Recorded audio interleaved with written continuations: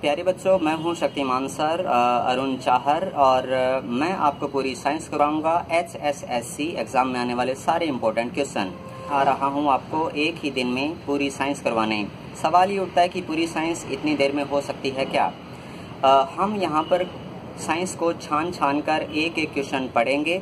अ, हम उतना डीप में नहीं जाएँगे जिससे हमारा समय है वो व्यर्थ जाए।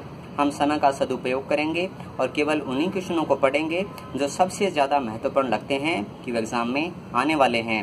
तो चलिए मिलते हैं नॉलेज टीवी देसी ताऊ पर। Thank you very much.